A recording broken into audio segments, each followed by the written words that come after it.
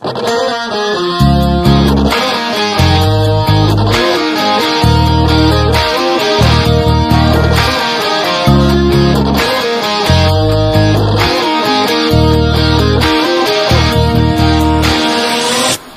up, Sencam? It's Sadie and Sid with your weather Today there is a high of 22. and a low of 7. Now be careful, Sencam, because if you go outside, there's still a chance that the roads might freeze because all the water.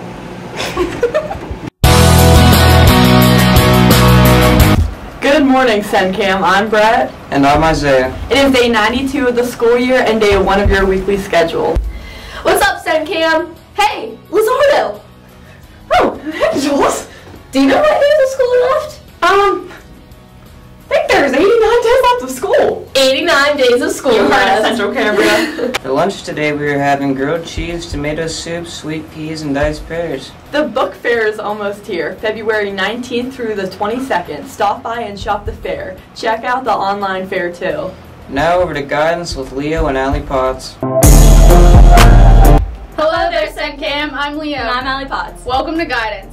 The first day of practice for spring sports is March 4th. Please return the completed forms to the nurse by February 1st. If you have not had a sport physical or if you have any questions, please see Mrs. Arndt. The following students will be performing in the district band concert Friday evening at Forest Hills High School. Kayla Gurney, Nick Lasinski, Rachel Vandenberg, Horatio Thomas, and Ryan Trossel.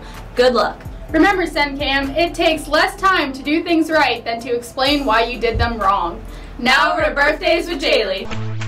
Happy birthday, happy What up, Sencam? It's Jaylee with your birthdays. There are no Sencam birthdays today, but fun fact, Sencam, the oldest blue whale is 110 years old, and blue whales can weigh up to 300,000 pounds. I know because I counted. Now over to stores with Ashley and Serena.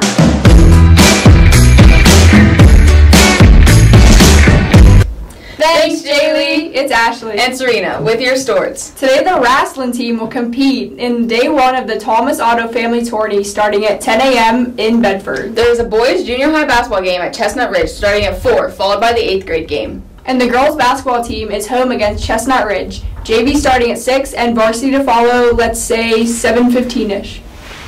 Good luck and go dang devils. You? Good morning, Central Cambria, and welcome back to This Day in History. On this day in history, January 25th, 1840, a military expedition led by Charles Wilkes identified Antarctica as a new continent. That's funambulist. We're soaring, flying, Everyone with me now. there's not a star in the Hollywood Square.